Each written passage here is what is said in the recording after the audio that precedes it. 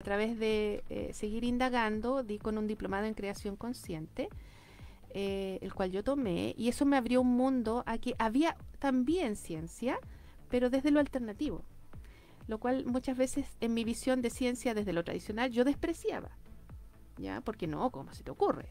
O sea, por favor. Pero sí es ciencia, está siendo investigado, hay, eh, por supuesto, menos dinero puesto ahí, por lo tanto, es menos intensivo, en el sentido de hay menos publicaciones, pero hay.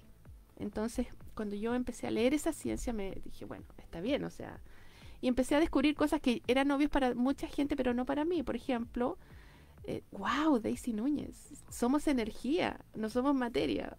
La materia es simplemente una manifestación de la energía y eso lo tenía descubierto Einstein, Oppenheimer y un montón de gente desde hace decenas de años y yo no tenía idea que somos energía que vibra.